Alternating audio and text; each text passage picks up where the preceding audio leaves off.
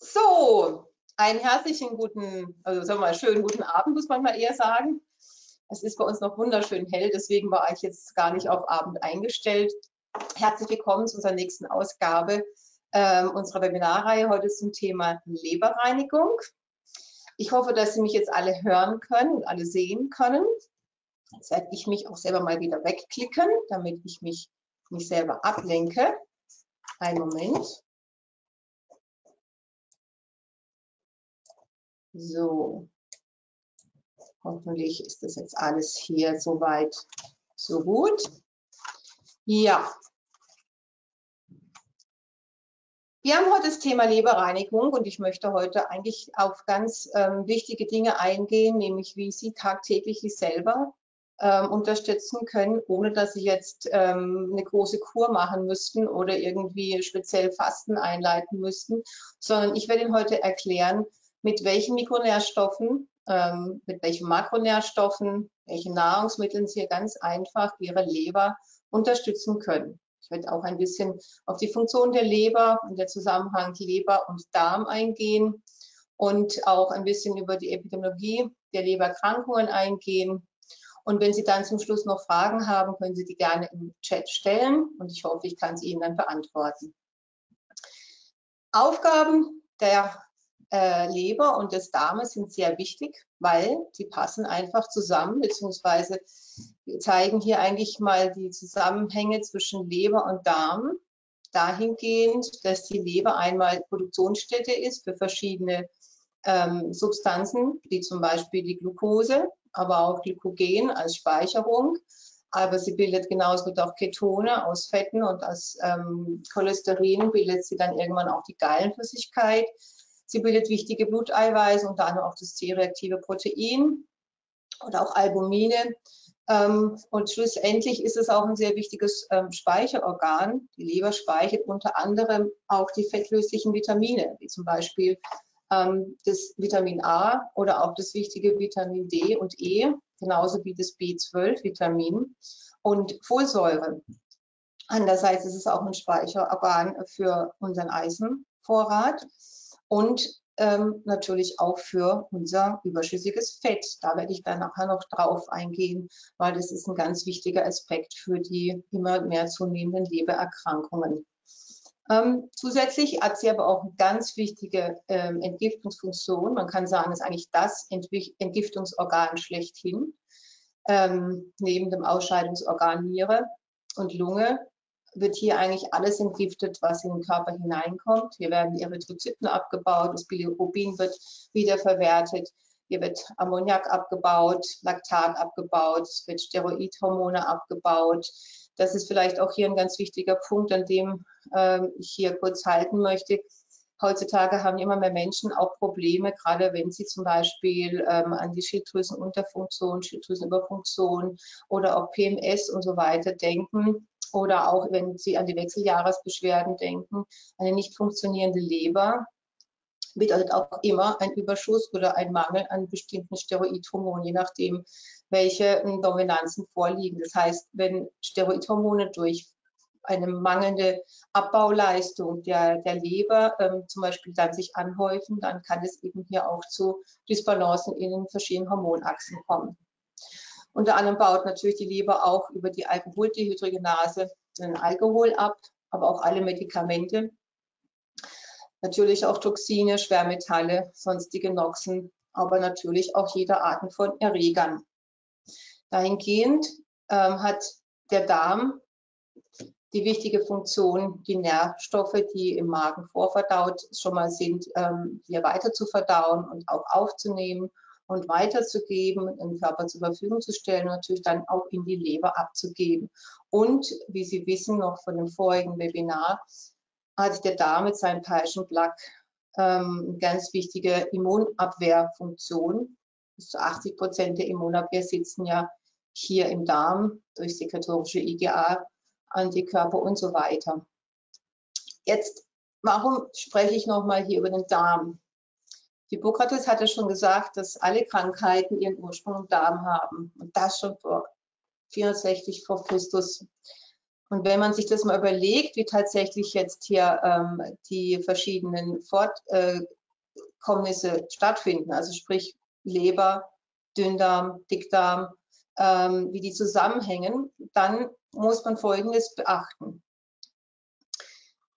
Die verdauten Nährstoffe aus dem Darm kommen ja über die Vena porta zurück in, in die Leber.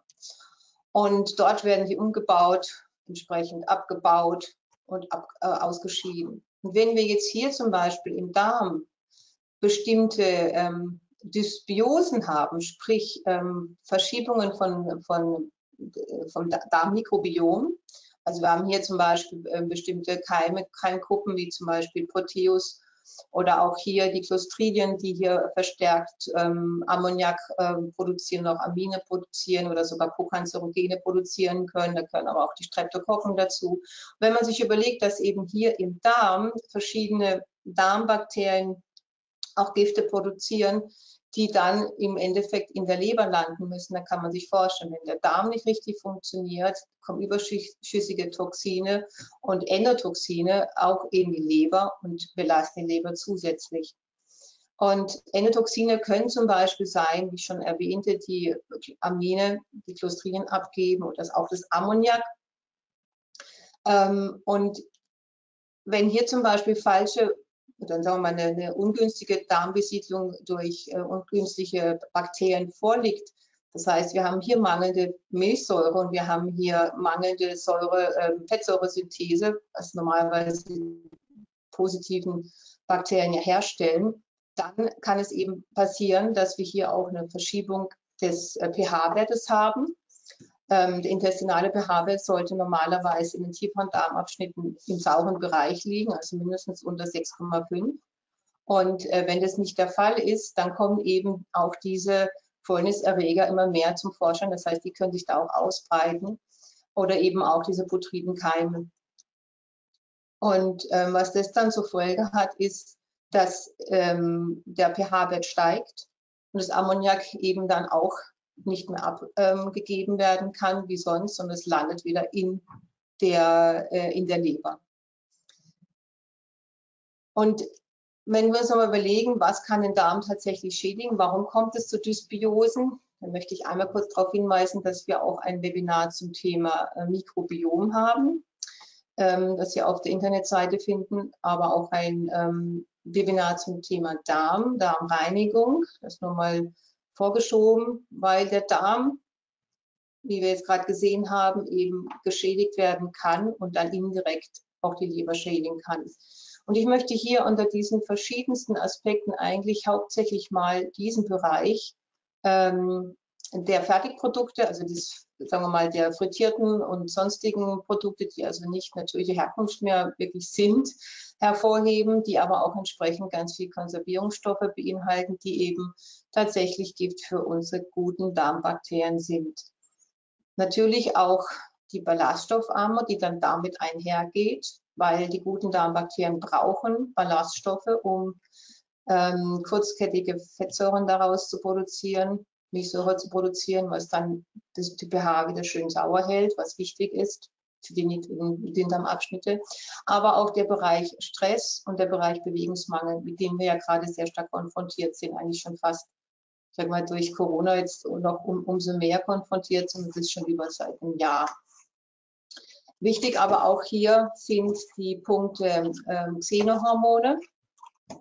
Ja, wie ich vorhin schon gesagt habe, es gibt ähm, nicht nur, dass die Leber ähm, selber Hormone herstellt, sondern wir können auch durch, durch bestimmte ähm, Produkte, die hormonähnliche Strukturen haben und dann auch die gleichen Hormonrezeptoren ähm, andocken können, die haben eine ähnliche Funktion eben wie Hormone. Und das sind zum Beispiel diese ganzen Phthalate und Weichmacher und so weiter.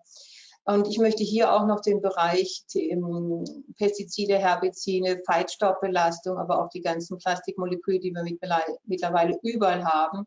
Und vor allem auch das Titanoxid welches nach wie vor in Deutschland erlaubt ist, während die Franzosen es letztes Jahr schon längst ähm, verboten haben.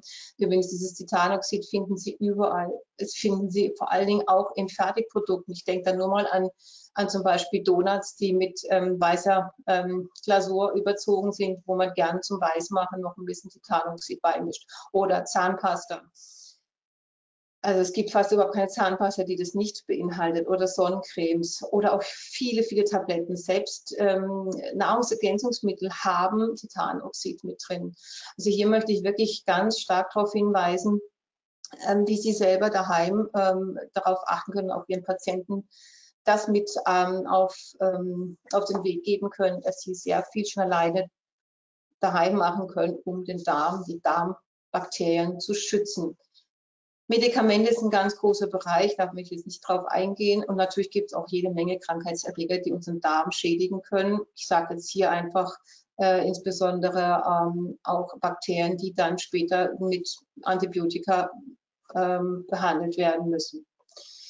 Ja, weil wenn die Darmbakterien, sagen wir mal, verschoben werden in ihrer, in ihrer Zusammenstellung, dann kommt es irgendwann zu einer chronischen Entzündung an der Darmschleimhaut. Und ähm, ich habe das hier mal an einem Beispiel, an einem Tierbeispiel darstellen wollen, weil es sehr schön veranschaulicht ähm, ist.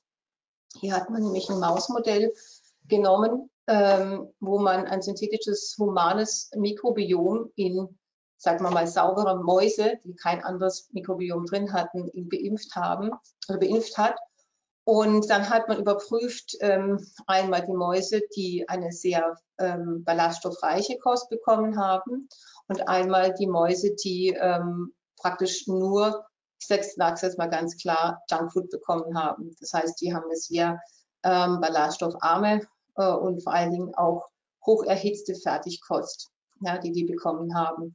Und was ganz interessant ist, dass bereits ähm, auch intermittierender Mangel an ballaststoffreicher Kost. Das heißt, also wenn man nicht jeden Tag in Mäusen ballaststoffreiche Kost gegeben hat, ähm, hat bereits schon dazu geführt, dass diese Muzinschicht, weil die Polysaccharide aus den Ballaststoffen gefehlt haben, die Bakterien abgebaut haben, um praktisch das als Futter zu nutzen. Das heißt, irgendwann kommt es zu einer erodierten Darmbarriere. Es gibt keine Muzinschicht mehr, die, die, ähm, die im Grunde die, die Darmbarriere nach unten hin zum Darm hin äh, schützt, sondern die Bakterien bauen es ab.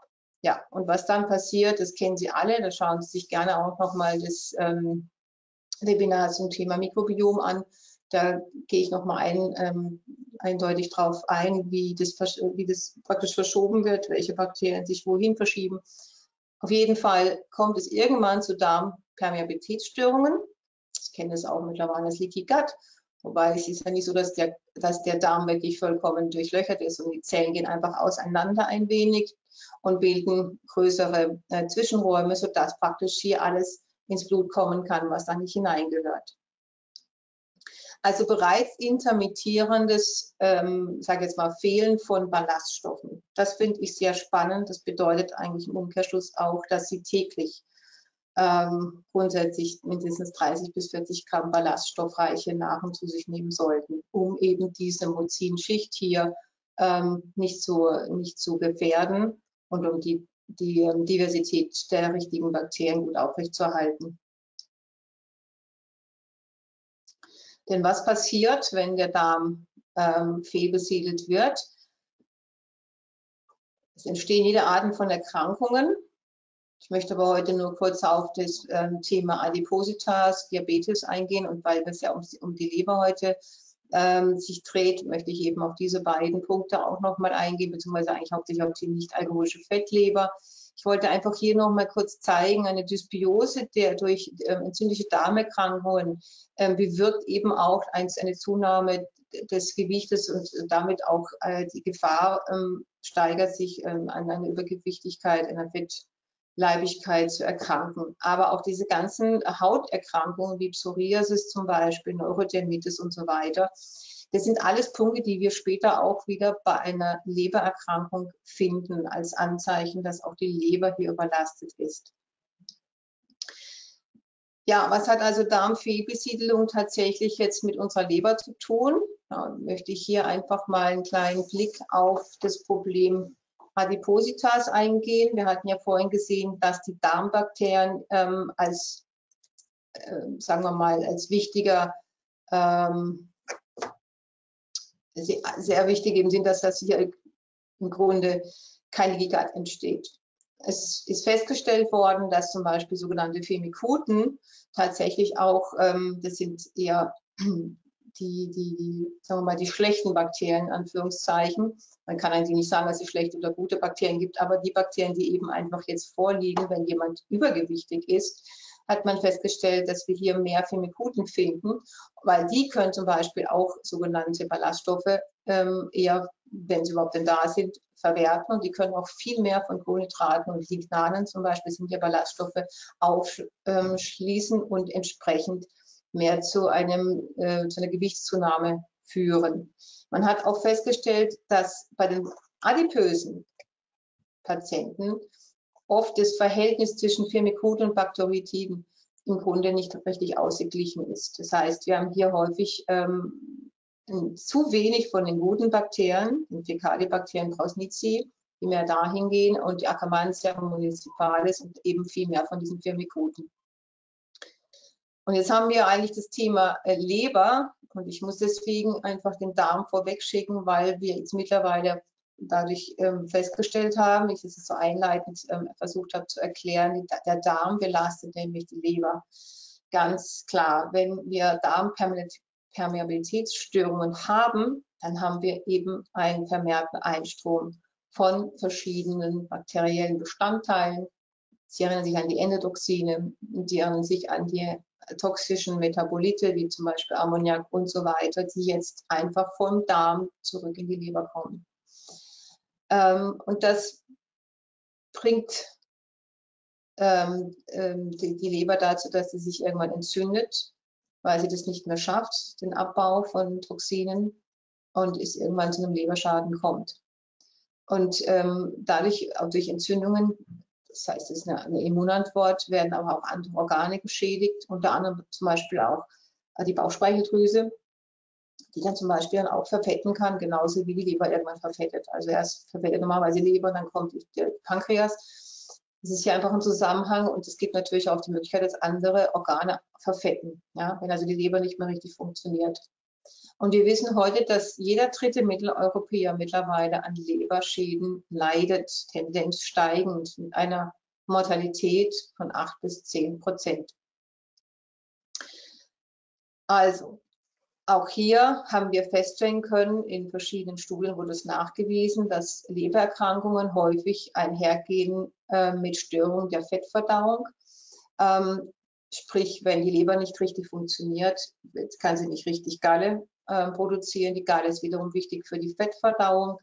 Wenn die Fettverdauung ähm, aber nicht richtig gewährleistet ist, dann erhöhen sich hier auch Fäulnisbakterien, die, dies, die das Fett als ihr Substrat nutzen. Ähm, und dementsprechend haben wir vermehrte Fäulnisaktivität im Darm.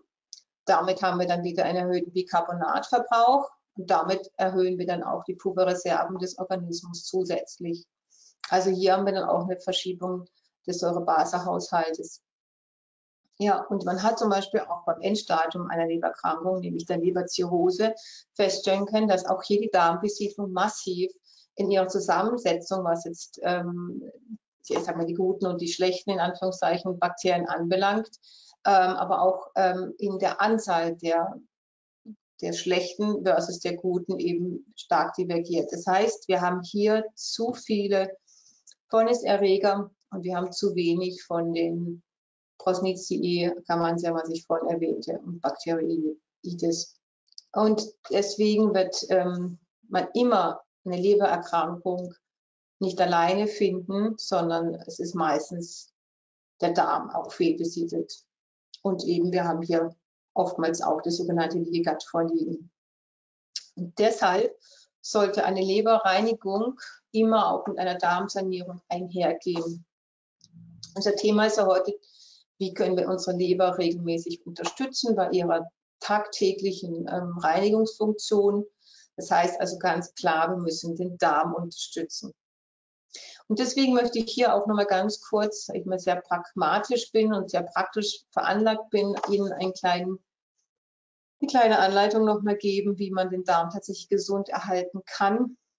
Und es steht und fällt tatsächlich mit den Ballaststoffen, den sogenannten löslichen und unlöslichen Ballaststoffen, die wir eigentlich nur, sage ich jetzt mal, in unverarbeiteter Nahrung finden. Das muss man wirklich sagen. Also das Beste ist wirklich, wenn Sie 70 bis 80 Prozent Rohkost essen an Gemüse. Ähm, und dazu auch fermentiertes Gemüse, ähm, das aber nicht erhitzt werden darf, ähm, zu sich nehmen in Form von Kimchi oder Sauerkraut, wie auch immer, weil ähm, sie hier auch die guten, wichtigen Milchsäurebakterien wiederum haben, die wichtig sind für den Darm. Auch resistente Stärke, die Sie sich selber herstellen können, ist ein wunderbares Futter für die gesunden, guten Darmbakterien. Sie können es einmal über abgekühlte Kartoffeln oder Hirse oder Reis, also alles, was, sage ich mal, Kohlenhydrate beinhaltet, können Sie einmal aufkochen, abkühlen lassen und am nächsten Tag essen oder dann kühl weiter essen, wie auch immer, weil hier entsteht ähm, gute resistente Stärke, die eben ähm, die Bakterien gerne zu sich nehmen. Was wichtig aber auch ist, ist, dass wir regelmäßig darauf achten, mal ähm, richtig wenig zu essen. Also am besten das Intervallfasting, das habe ich ja am letzten Webinar auch besprochen, ähm, das regelmäßig mal einzuführen, vielleicht ein, zwei Mal die Woche. Wer kann auch zwei, dreimal die Woche. Das bedeutet, dass Sie nur zwei bis dreimal am Tag essen und dass Sie hier auch die ähm, chronologische oder chronobiologische Organuhr mit berücksichtigen also nicht mehr später als 19 Uhr noch was zu sich nehmen. Fasten ist auch insofern wichtig, als hier die Autophagie, also die Selbstverdauung, ähm, angeregt wird von Zellfragmenten, von allem, sage jetzt mal Zellschrott, ähm, der erst dann wirklich abgebaut wird, wenn der Darm nichts zu tun hat, also wenn sprich kein Nahrungsmittel in den Darm kommt. Das heißt, ab und zu mal ein, zwei Tage Fasten, und zwar wirklich, ähm, ich sage jetzt mal nur Wasserfasten zum Beispiel, unterstützt auch sehr stark die Darmgesundheit und damit auch die Lebergesundheit. Wichtig ist auch das gute Kauen, das wissen Sie, aber ich glaube, die allerwenigsten von uns machen es. Aber ich möchte Sie einfach nochmal sagen, das ist Einspeichen, das ist A und O. Ähm, und natürlich werden hier auch schon die Verdauungsenzyme über das Gehirn angeregt, ähm, ausgeschieden zu werden, sobald ich was im Mund richtig gut verdaue. Und hier sind zum Beispiel auch ganz wichtig, äh, schon mal die Bitterstoffe anzusetzen, weil die ähm, Bitterstoffe werden im Mund bereits erkannt über die über bestimmte Nervenendigungen an der Zunge. Und wenn Sie also hier schon mal viel Bitterstoffe zu sich nehmen, ob das jetzt in Form von Tinkturen oder in Form von Wildkräutern oder in Form von ähm, Heidelberger Kräuter, wie auch immer, zu sich nehmen. Sie tun sich hier im Darm und vor allen Dingen dann auch wiederum ihrer Leber nur Gutes, wenn sie es täglich machen, weil die wenigsten Nahrungsmittel heute eigentlich noch Bitterstoffe beinhalten. Die wurden ausgezüchtet. Es sei denn, sie gehen jetzt in den, in den Wald, langsam fangen die erstmal an zu sprießen und holen sich ihren, ihre erste Wildkräuter. Ähm, Zufuhr aber das können die wenigsten eigentlich machen. Deswegen sage ich da immer nur äh, Bitterstoffe. Ja, ganz klar, Toxine meiden, das wissen wir. Und hier nochmal ein ganz wichtiger Punkt, überprüfen Sie auch, sollten Sie wirklich Medikamente nehmen, welche Medikamente haben Überzugsmittel, die wiederum die, ähm, die Darmbakterien schädigen und so weiter. Und könnte man gegebenenfalls auch auf Medikamente wechseln, die zum Beispiel kein Titanoxid beinhalten oder sonstige Füllstoffe. Ja, hier unten habe ich nochmal gesagt, Kräuter und Bitterstoffe anregen, ganz wichtig. Und regelmäßige Einläufe helfen auch dem Darm und natürlich entsprechend auch der Leber. Hier können Sie sich das gerne nochmal ähm, in Ruhe anschauen. Die wichtigsten Schritte zur Darmgesundheit sind auch immer wichtige Schritte zur Lebergesundheit. Deswegen möchte ich hier das nochmal kurz ähm, erwähnen. Wir müssen also alle Ausleitungsorgane unterstützen. Das sind die Galle, Niere, Lymphe, natürlich aber auch die Lunge. Ja, deswegen ist Bewegung so wichtig. Ähm, wir müssen einen Säure-Base-Puffer unterstützen. Es müssen alle Arten von Toxinen, Schwermetallen binden und ausleiten. Das können wir zum Beispiel über Chlorella-Alge, wir können das über Kardinaltinkturen, wir können das binden über Mineralerde, äh, Bentonit, was es alles da so gibt. Und ähm, grundsätzlich müssen wir aber auch vorliegende Entzündungen natürlich diagnostisch abklären lassen. Ähm, über Labor kann man das wunderbar machen. Es gibt genügend ähm, Parameter, die zum Beispiel ähm, ein, ein Gut ähm, nachweisen lassen. Da können Sie sich an den herkömmlichen ähm, Laboratorien natürlich gerne mal ähm, sich auch Listen geben lassen und nachprüfen, wenn Sie Patienten haben, die vielleicht, wo Sie Verdacht haben, dass sie tatsächlich Entzündung haben, dass Sie die dort einfach mal einschicken die Proben und prüfen lassen. Aber auf jeden Fall sollte eine Entzündung vorliegen.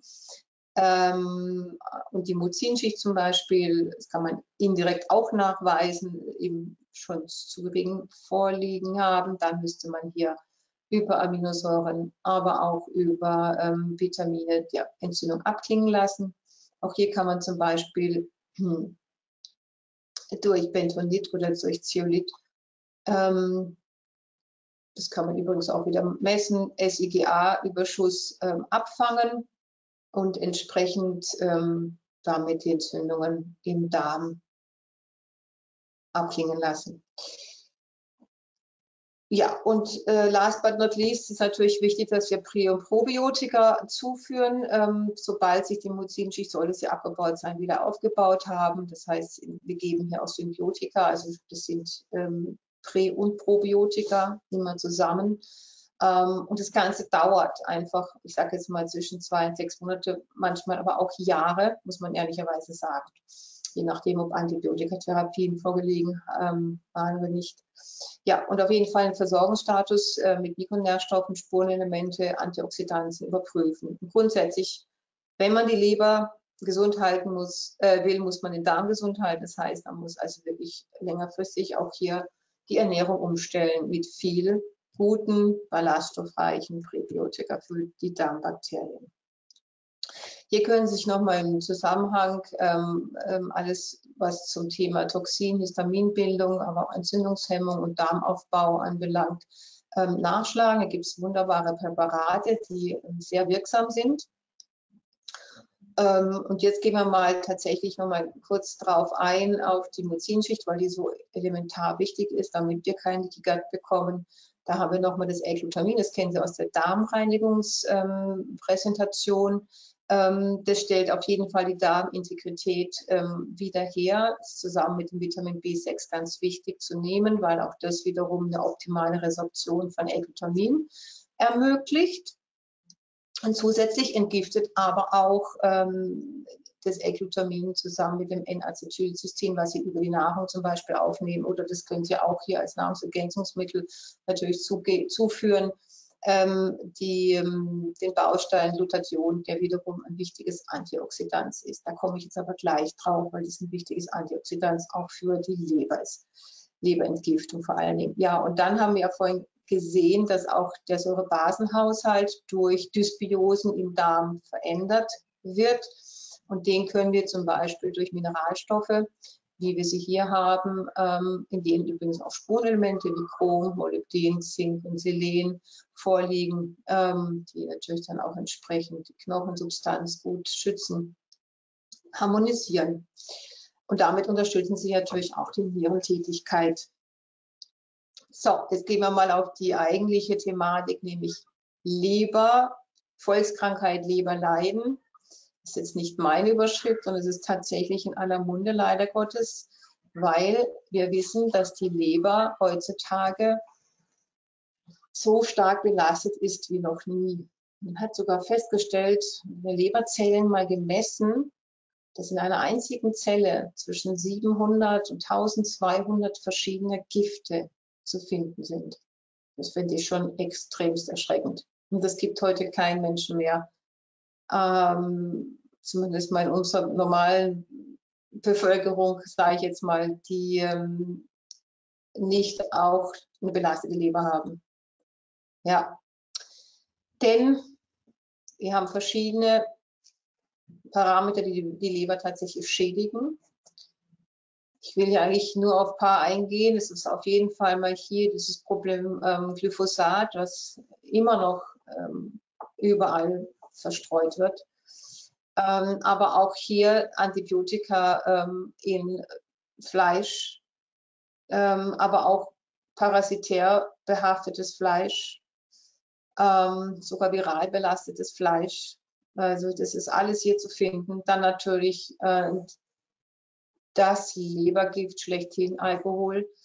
Aber jetzt ganz besonders auch der Stress, Wut, Angst, Ärger, den wir jetzt seit einem Jahr noch verstärkt spüren da draußen.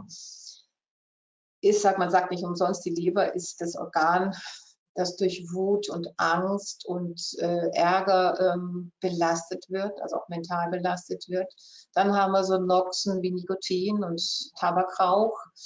Oh, dann haben wir natürlich die ganzen Medikamente hier, insbesondere die NSARs. Wir haben auch äh, die Antibiotika und so weiter. Aber auch die Zahngesundheit oder äh, die verschiedenen Zahn ähm, Inlays und, und Kunststoffe, die verwandt werden, die gehen natürlich auch alle über die Mundschleimhaut in unseren Körper. Bei jedem Kaugummiabrieb kommt aus dem Quecksilber, aus dem Amalgamfüllungen ähm, immer ein kleiner Bereich in den, in den Körper hinein. Dann natürlich auch belasten wir die Leber, wenn wir häufig ähm, Erkältung haben, weil wir eben ein schlechtes Immunsystem haben, weil die Leber baut ja auch ähm, alle Arten von Zelltypen ab. Das heißt, wenn wir ständig ähm, abgestorbene Erythrozyten ähm, verhäuft haben, dann muss die Leber auch mehr arbeiten. Und jetzt aber ein ganz wichtiger Punkt, den ich hier machen möchte, ist tatsächlich das schlechte Essen, das zu viele, zu häufige und auch zu späte Essen. Und ganz besonders das absolut degenerierte Essen. Denn das führt zu einer Fettleibigkeit. Heute sind mittlerweile in der Weltbevölkerung knapp 30 Prozent der Menschheit fettleibig. Und bis ins Jahr 2030 wird es wohl fast jeder zweite Mensch sein, der bereits Adipositas hat. Ja, und durch die Zunahme von Adipositas nehmen auch die Lebererkrankungen zu, insbesondere die Fettleber. Erkrankung. Es gibt mittlerweile nicht nur eine Übergewichtsepidemie, sondern wir haben mittlerweile auch eine steigende Prävalenz ähm, und einen steigenden Schweregrad der nicht alkoholischen Fettleber, die ich jetzt gleich eingehen werde. Ähm, und ich finde hier dieses Bild so sehr eindrücklich, weil es doch einiges ähm, veranschaulicht, dass der Mensch eigentlich ähm, so gemütlich es auch aussieht hier, sich sein eigenes Grab schaufelt. Ja? Der Fat Geist versinkt regelrecht und ähm, ja, versinkt im Fett äh, und geht irgendwann unter. Denn die nicht alkoholische Fettleber ist so weit verbreitet, dass mittlerweile jeder, sagen wir mal, jeder, drei, jeder dritte äh, Erwachsene bereits an so einer nicht alkoholischen Fettleber leidet. Die Abkürzung hier ist die englische Abkürzung von Non-Alcoholic Fat Liver Disease. Und bis zu 90 Prozent der stark Übergewichtigen haben eine nicht-alkoholische Fettleber. Bis zu 70 Prozent der Typ-2-Diabetiker haben eine nicht-alkoholische Fettleber. Und ganz besonders besorgniserregend finde ich das, ähm, dass bereits fettleibige Kinder jedes dritte darunter schon eine Fettleber aufweist. Wie kommt es denn zur Fettleber? Beziehungsweise Fettleber an sich ist ja nur ein Stadium von einer gesunden Leber kommt es zur Verfettung, irgendwann zu einer Vernarbung, zu einer Nekrotisierung von Leberparenchymen und irgendwann schrumpft die Leber und es kommt zur sogenannten Leberzirrhose. Hier möchte ich nochmal ganz klar machen, dass die Übergewichtigen, also wirklich 90 Prozent der Übergewichtigen, bereits diese nicht-alkoholische Fettleber aufweisen, versus den Alkoholikern, wo sie der zweite ist. was wichtig ist, wenn die, die, die, die Leber nicht mehr richtig ähm, funktioniert, sprich äh, sich kleine Knötchen bilden, also praktisch Vernarbungen bilden ähm, und hier Fette sich einlagern, die, die Leber quasi im Grunde auch ähm, von der, vom Volumen her nicht mehr genügend äh, funktionieren kann, dann kann eine solche Fettleber auch entstehen in Ammoniak. Wir haben es vorhin ja gehört, ähm, das kann in, durch die Darmbakterien entstehen ähm, oder auch durch Abbau von Aminen, dann kann die Leber auch hier nur noch bis zu 50 Prozent ähm, solche Gifte abbauen. Das nur mal als Beispiel. Was aber ganz interessant ist und was ich auch erschreckend finde, ist, dass nicht nur fettleibige und übergewichtige Menschen eine Fettleber bekommen können, sondern auch normalgewichtige. Mittlerweile 15 Prozent der Normalgewichtigen, die können regelrecht richtig super schlank sein, haben eine Fettleber. Man nennt sie dann des, dementsprechend die Tofis, den outside, fat inside. Das heißt, sie sehen wirklich super schlank aus und haben aber eine Verfettung der Organe, ähm, insbesondere der Leber. Und hier weiß man mittlerweile, dass das durch einen starken äh, Fructosekonsum äh, stattfindet. Ja, also wenn man hohe Fructose in Form zum Beispiel von Invertzucker was ja mittlerweile überall eingegeben wird und weil es sehr, sehr billig hergestellt werden kann, der ähm, eben in der, in der Leber verstoffwechselt und wird hier als Fett umgebaut. Ähm, ich will jetzt gar nicht auf die einzelnen Stufen eingehen, aber ich finde es unfassbar wichtig, weil wir mittlerweile ähm, aus USA das hierher bekommen haben, dass wir eben ähm, alles, was wir zu uns nehmen, gezuckert ist und eben auch durch Fructose-Derivate ähm, belastet ist. Und das ist wirklich eine Belastung für unsere Leber, das kann man nicht anders sagen.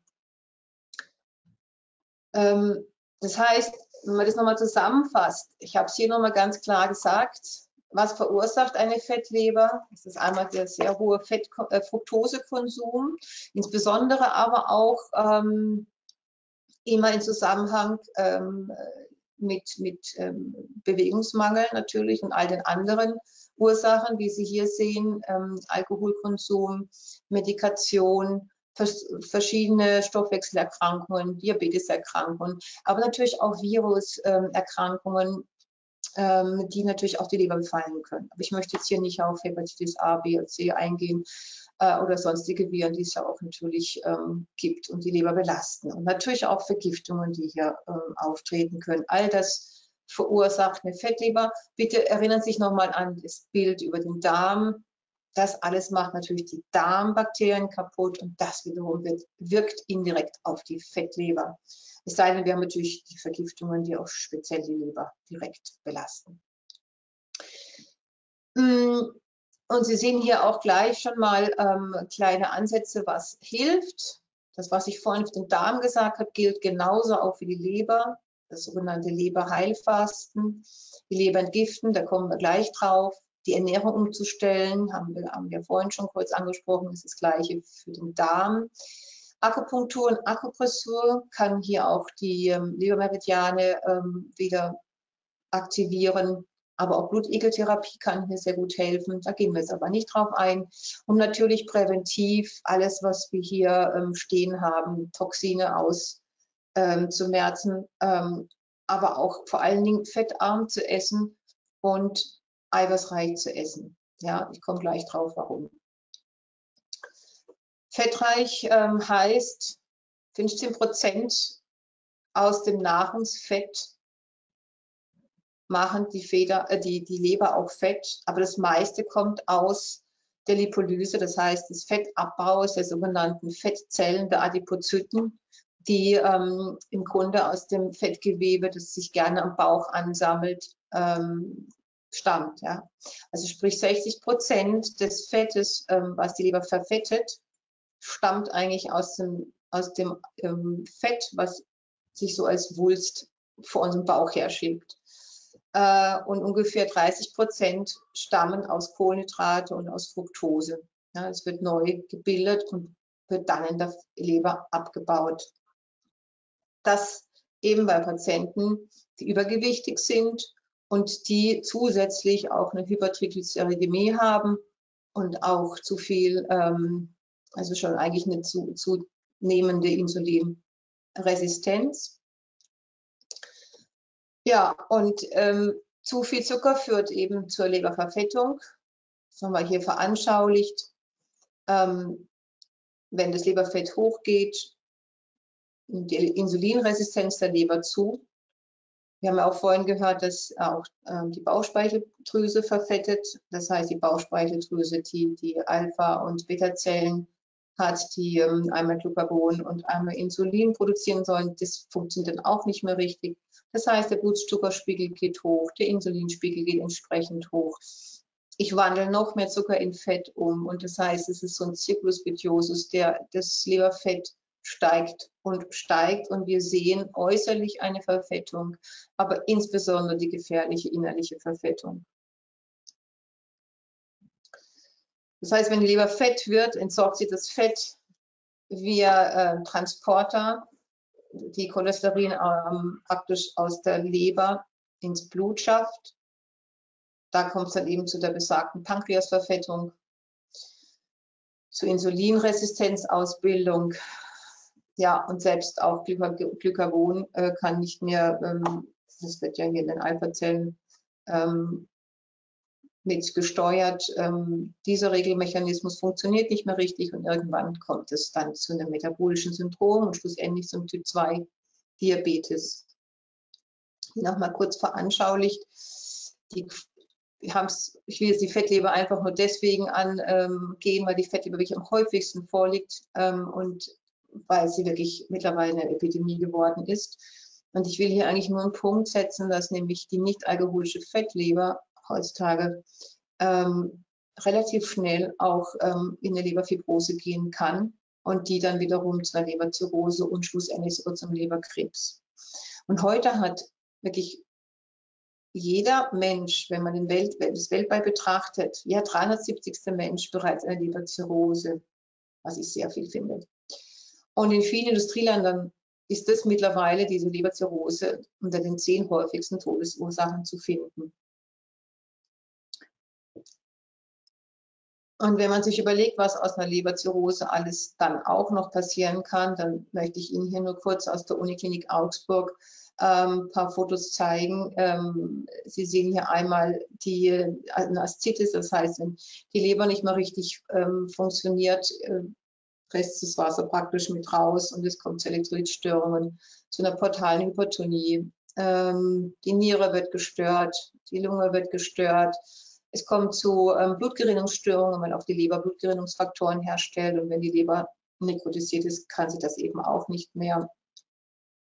Ja, und es kommt zu ähm, Infektionsherden, ähm, weil die, auch die Immunzellen werden dort nicht mehr hergestellt, das Albumin wird ja nicht mehr hergestellt, andere Proteine, die die Immunzellen ähm, eigentlich herstellen oder aus denen Immunzellen ähm, aufgebaut sind. Das heißt, wir haben hier tatsächlich ähm, ähm, eine, eine Folgerscheinung aufgrund von einer Leberzirrhose. Und ähm, wenn man bereits hartnäckiges Übergewicht oder eine ständige Nervosität, Aggressivität, Reizbarkeit und so weiter spürt oder man spürt, dass die Muskeln verspannen und sich nicht mehr wirklich entspannen wollen oder dass man sich schlecht nach dem Sport regenerieren kann, dass auch das Bindegewebe nicht mehr so elastisch äh, ist, dass man zum Beispiel ähm, Gewebsstreifen bekommt, dass man aber auch Schmerzempfinden viel häufiger und stärker fühlt. Und ähm, vor allen Dingen, dass man auch so Gichtanfällen im Fußzehenbereich zum Beispiel hat, dann sollte man dringend an die Leber denken, ähm, weil hier bereits die Leber belastet sein kann. Und wenn die Leber stark belastet ist, dann ist man tatsächlich in einem Leistungsknick. Man fühlt sich nur noch chronisch müde, man hat diese bleiende Schwere, man hat diesen vernebelten Kopf, ähm, man hat eine ständige Gewichtsveränderung. Das kann sowohl ähm, Gewichtsreduktion bedeuten, aber auch meistens normalerweise ähm, Gewichtszunahme. Sie erinnern sich, dass die Steroidhormone ja auch abgebaut werden müssen, äh, andere Hormone, ähm, die natürlich auch die verschiedenen, also die Schilddrüsenachse und so weiter mit, mit ähm, induzieren und entsprechend verändert sich hier dann auch das Gewicht. Aber auch ganz wichtig, wenn die Leber nicht richtig funktioniert, kommt es zu Schlafstörungen, das heißt Durchschlafstörungen vor allen Dingen. Man wacht zwischen ein und drei Uhr morgens gerne auf, weil hier natürlich die Leberregenerationszeit ist. Die Muskelschmerzen, Kopfschmerzen und Gliederschmerzen sind eigentlich springend, ja, weil heute hier der Kopf, morgen der Muskel, dann die Glieder, ähm, die Knochen, alles wird irgendwann ja, soll man sagen, man fühlt sich aber nicht mehr gut, ja. Und das ist ganz wichtig. Es kommt natürlich dann auch irgendwann zu Konzentrationsproblemen, weil auch das Fuselalkohole, wenn Sie sich nochmal erinnern an die Endotoxine und sonstige Metabolite, die toxisch ähm, sind, gehen natürlich auch über die Blut-Hirn-Schranke und können dann hier auch im Gehirn ihren Schaden anfügen. Plus, es kommt zu chronischen Entzündungen jeglicher Art, zu Sehstörungen, zu Hautproblemen auch PMS, Schilddrüsenunterfunktion. Es gibt eine ganze Latte von Symptomen, die tatsächlich ähm, so zu führen sind auf Lebererkrankungen. Und interessant ist, dass die wichtigsten Lebermarker, das GOT, das Gamma-GT und das GPT, normal gemessen sein können und trotzdem bei 30 bis 50 Prozent der Bevölkerung schon eine nicht-alkoholische Fettleber besteht. Tendenz steigend. Ja, das bedeutet, das Wichtigste für den Körper ist wirklich die Leberreinigung, denn die Leber entgiftet in zwei Phasen. Ähm, sie macht äh, fettlösliche Moleküle wasserlöslich. Dazu braucht sie hauptsächlich Niacin, aber auch alle anderen B-Vitamine, weil die wiederum die Leberenzyme, die genau diese, diesen ähm, ähm, Kommunikationsmodus hier durchführen, ähm, das brauchen. Das heißt, wir haben hier einen ganz wichtigen Augenmerk auf die B-Vitamine. Die ähm,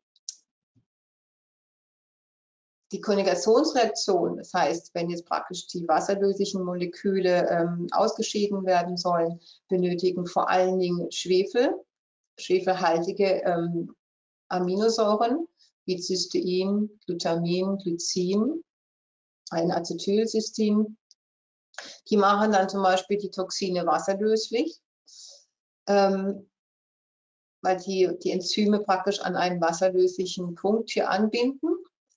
Ja, und dann kommt es, man nennt es auch die Phase 3 oder aus Ausscheidung bzw. Transport der wasserlöslichen Moleküle dann über ähm, die Niere auszuscheiden oder über den ähm, Darmstuhl bereits auszuscheiden, die brauchen dann eben vor allen Dingen Bitterstoffe.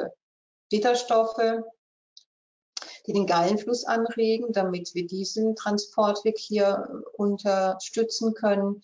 Und ähm, andere Stoffe aus ähm, Kräutern wie der Brennnessel oder dem Löwenzahn, die die Nierentätigkeit unterstützen, den Harnantrieb steigern, damit ähm, die wasserlöslichen Abfallprodukte und Toxine über den Urin ausgeschieden werden können. Ja, und jetzt habe ich hier nochmal kurz zusammenstellen ähm, wollen für Sie, dass Sie wissen, was brauchen Sie tatsächlich bei der Entgiftungsunterstützung unserer Leber. Und da haben wir hier nochmal ganz wichtig, wie ich schon sagte, die B-Vitamine, aber da gehören auch Vitamine wie das A und das K, aber auch das Provitamin D3 dazu.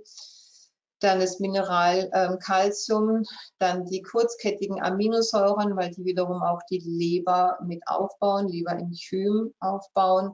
Phospholipide zum Beispiel, ähm, die die ähm, die Biomembran der Zellen mit aufbauen. Das finden Sie hauptsächlich in Krillöl oder auch in den Pflanzen, dann Glutathion, aber auch sekundäre Pflanzenstoffe. Dann bei dieser Umbauaktion von fettlöslich in wasserlöslich entstehen immer auch freie Radikale. Das heißt, wir haben hier auch so, gesagt, so gesagten äh, oxidativen Stress ähm, und der muss sofort äh, unterbunden oder halt minimiert werden und deswegen sind hier die Antioxidantien so wichtig. Die wichtigsten Antioxidantien sind die wasserlöslichen Vitamin C und die fettlöslichen Vitamin E sowie ähm, Antioxidant ähm, Selen. Ähm, und die Schwefelverbindung, Thiole hier sind wichtig als ähm, Antioxidant und das wichtigste und stärkste Antioxidant hier ist das Coenzym Q10 oder auch Ubiquinon. Ja, und auch hier schon das Silimarin aus der Mariendistel, welches hier auch als Antioxidant ähm, hilft, um diesen Ansturm von freien Radikalen abzupuffern. Und ähm,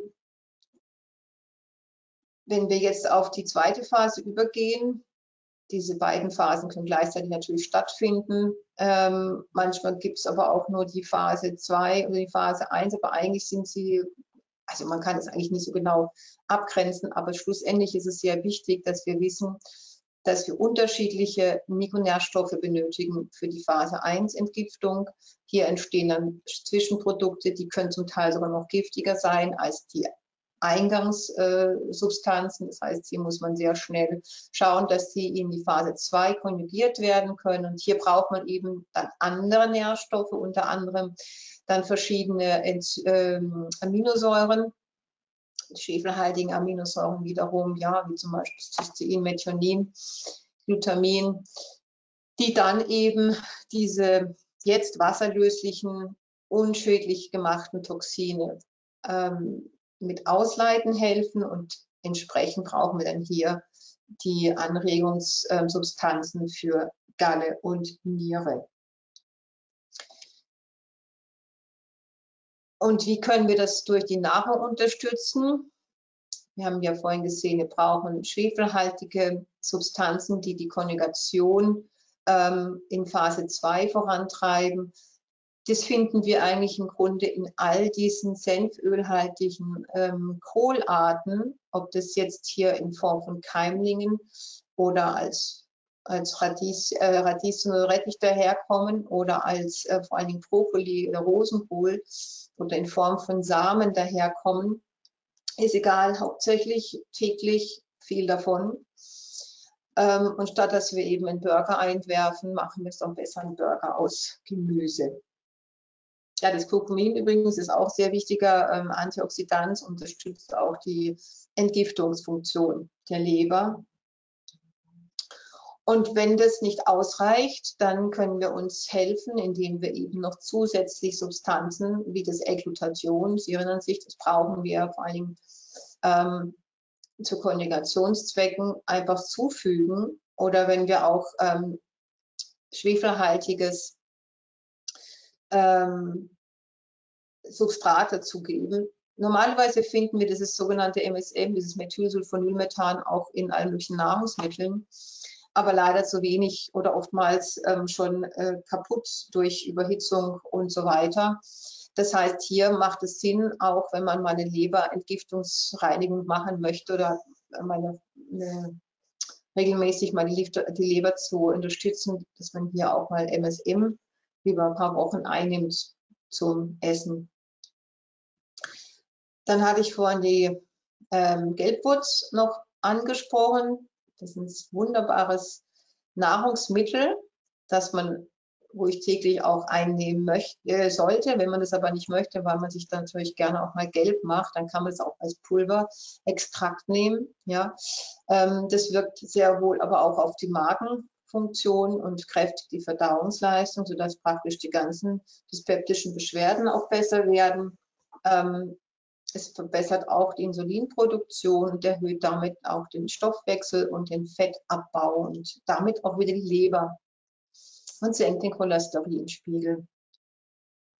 Und wenn wir jetzt nochmal auf die ähm, verschiedenen Pflanzenextrakte ähm, eingehen wollen, die jetzt die Galle zum Beispiel, ähm, Gallenausscheidung fördert ähm, und aber auch die Nierenausscheidung fördert, dann haben wir hier vor allen Dingen die Mariendistel zu erwähnen, die mit ihrem Silimarin sogar in der Lage ist, als einziges ähm, natürliches Produkt ähm, die Leberzellen neu zu bilden.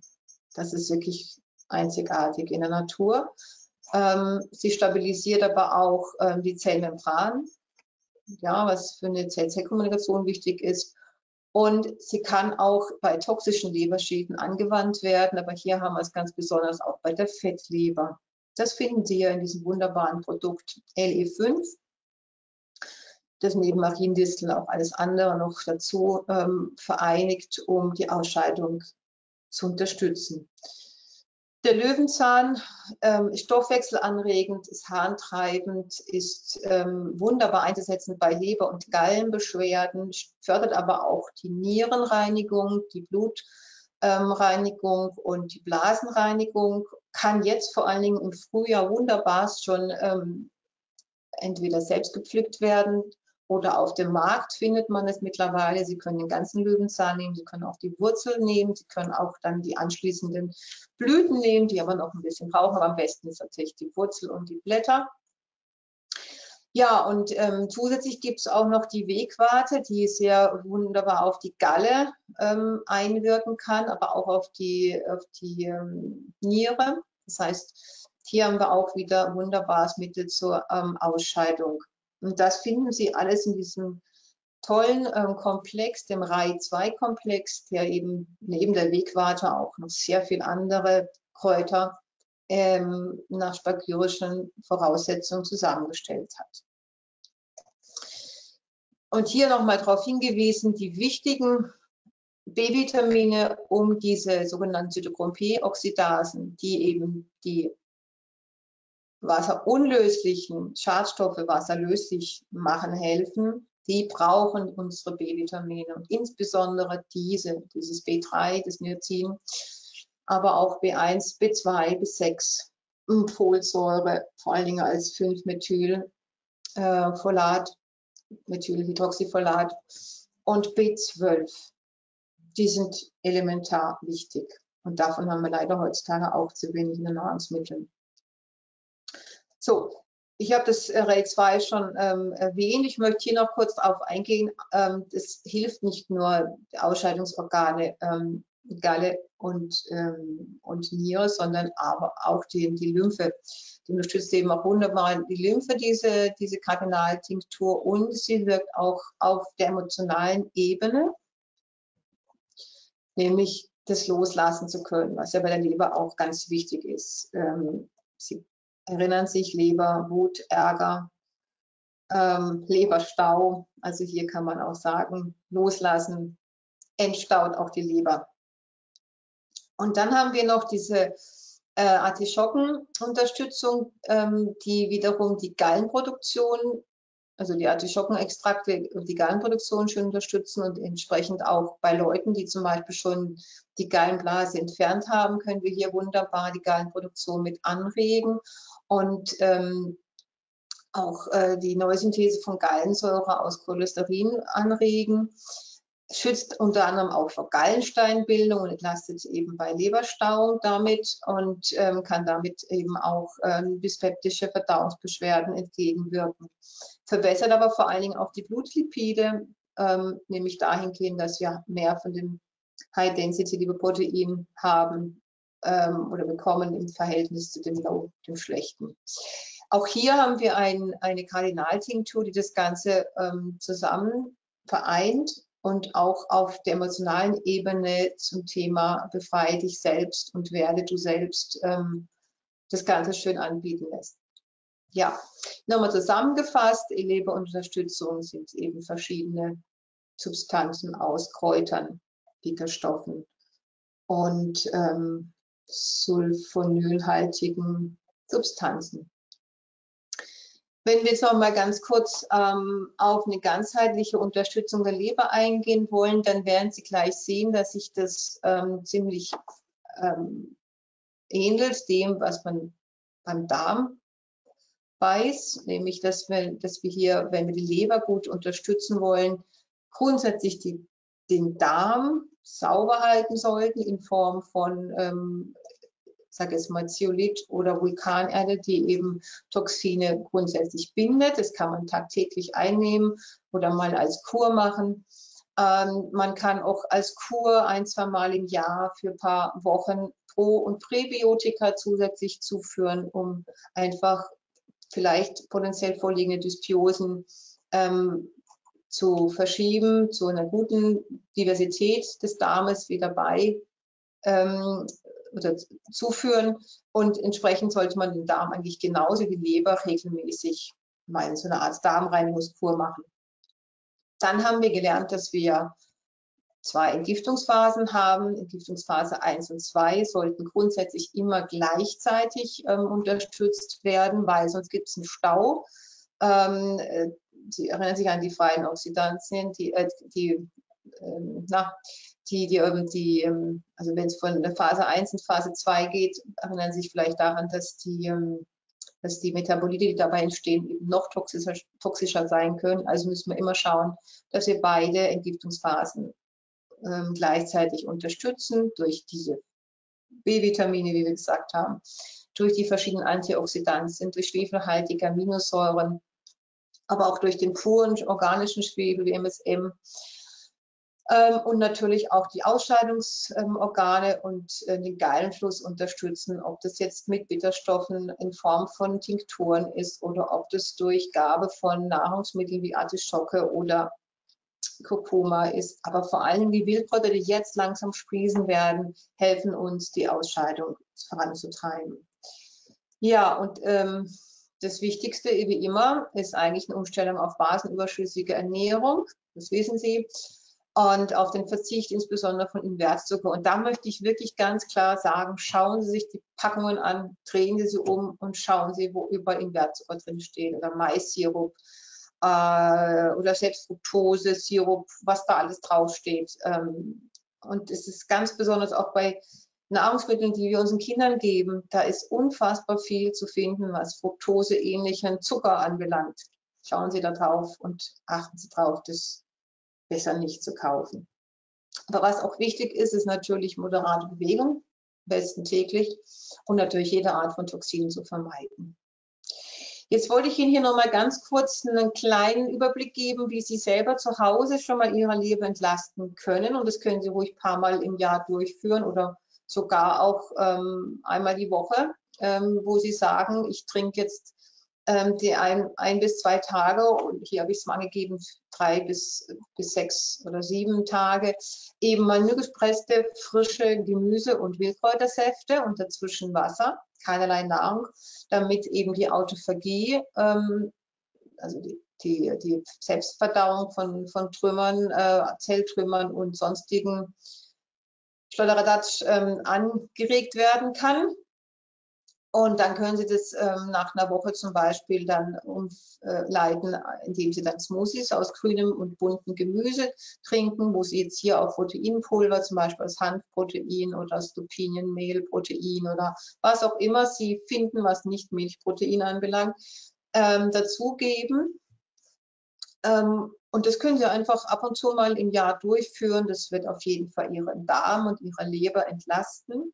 Was sehr gut hilft bei ähm, Leberbelastung durch zum Beispiel Viren oder andere Parasiten, ist die Infrarotsauna.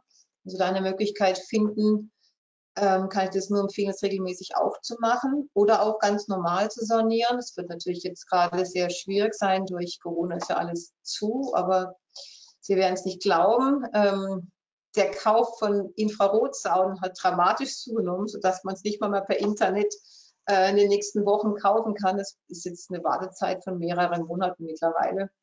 Ja, hat sie oben besprochen, dass das auch bei Viren hilft. Dann kann man natürlich regelmäßig Leberwickel machen. Und ähm, die kann man ganz einfach machen. Äh, entweder man nimmt zum Beispiel die Kardinaltinkturen und befeuchtet damit ähm, ein Tuch und legt sich das auf die Leber und dann legt man ähm, ein zweites Tuch oben drauf und legt dann eine Wärmflasche drauf. Oder man nimmt zum Beispiel Ackerschachtelhalm-Tee, ähm, macht daraus einen Sud und legt dann da einen Lappen rein und lässt das dann auf der Leber ähm, draußen äh, äh aufgelegt, ein paar Stunden liegen oder auch meinetwegen nur eine halbe Stunde, das reicht auch schon. Und das aber vor allem regelmäßig, das unterstützt wunderbar auch die Leber. Dann kann man natürlich durch Lymphmassagen auch den Lymphfluss anregen, weil es muss ja auch alles abfließen können. Ähm, und man kann durch ähm, bestimmte Tees, zum Beispiel den sogenannten Steinbrecher-Tee, auch die Niere unterstützen, damit es ausgeleitet werden kann, ähm, was die Leber entgiftet hat. Oder zum Beispiel auch, dass man Kardinaltinkturen sich in Wasser einfügt und es über den Tag hinweg trinkt. So genannte Leberreinigungen gibt es ja verschiedenste. Sie kennen bestimmt die Leberreinigung von Hulda von Klag oder von Moritz oder auch von Markus Rothkranz oder Florian Sauer. Ich kann sie eigentlich ähm, nur ans Herz legen, sich damit mal zu beschäftigen. Ich persönlich habe die von Florian Sauer gemacht und muss sagen, es hat sehr, sehr eingeschlagen. Ähm, auf jeden Fall sollte man sie mindestens ein bis zweimal im Jahr machen und ähm, schon sechs Monate Pause dazwischen lassen. Es sei denn, man ist sehr stark Leber belastet, dann sollte man das auch unter ärztlicher Aufsicht durchaus mehrmals im Jahr machen, maximal viermal im Jahr und das Ganze aber auch unterstützen mit ähm, Einläufen. Ob das jetzt Einläufe mit grünem Kaffee sind oder nur mit lauwarmem Wasser, ist jetzt nicht so wichtig, aber hauptsächlich man macht sie regelmäßig. Hier noch ein paar Beispiele für eine Saftkur, für die, die es interessiert. Apfelsäure ist immer ganz gut und auch Gallensteine, Nierensteine zu lösen. Deswegen ähm, sollte man, wenn man das macht, gerne auch ähm, auf sauren Apfel, wie zum Beispiel Boskop oder ähm, sonstige Topasäpfel und weiter, ähm, auf dem Markt ähm, greifen und entsprechend dann ähm, andere Gemüsesorten dazu nehmen, die zum Beispiel viel äh, Basen aber also basische Mineralien beinhalten, zum Beispiel Stauden oder Stangensellerie und ähm, Gurke. Ja, und dann kann man jetzt eben auch wechseln, mal mit anderen Sachen, wie zum Beispiel mit inulinhaltigem Tumilambur, was wiederum ähm, auch den Darm gut unterstützt. Ja, und davon kann man eineinhalb Liter am Tag verteilt trinken.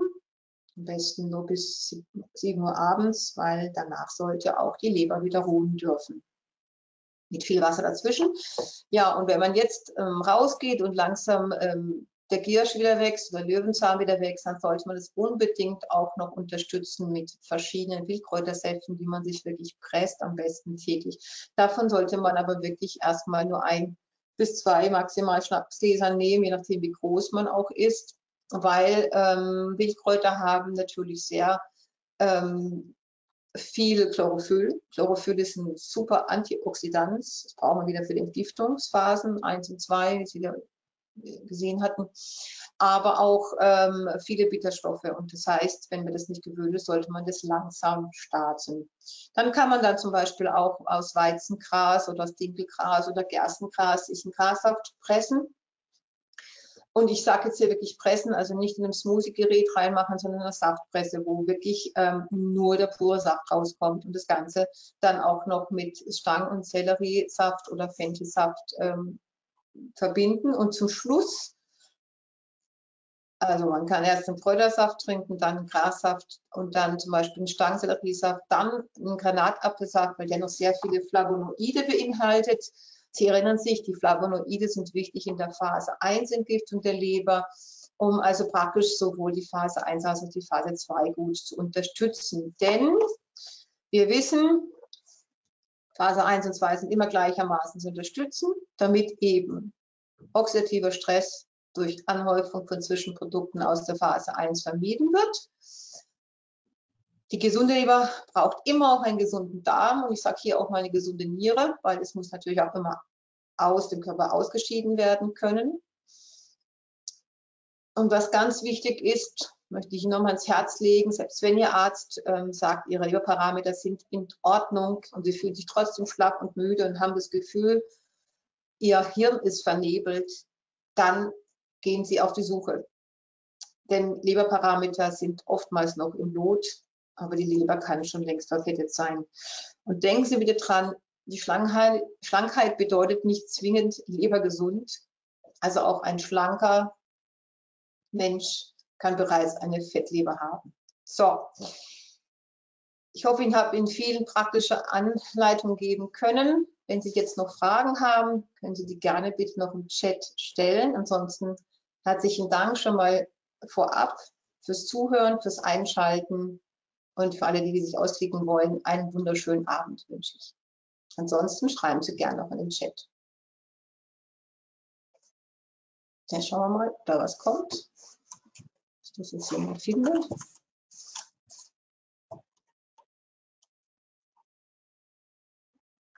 Tja, gute Frage. Kein Chat.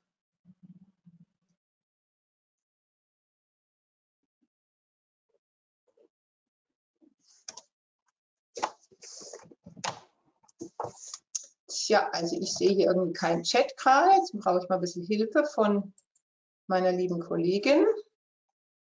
Haben wir denn hier Fragen?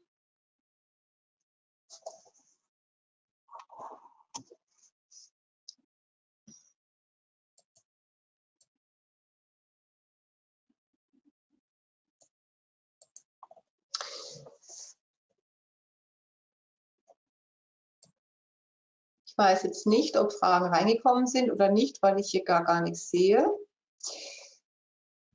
Gut, ansonsten können Sie mich sehr gerne auch ähm, äh, privat anschreiben, wenn Sie auch nochmal Fragen zur Leberreinigung haben, ähm, wo Sie vielleicht ein paar Informationen benötigen, können Sie das natürlich gerne tun.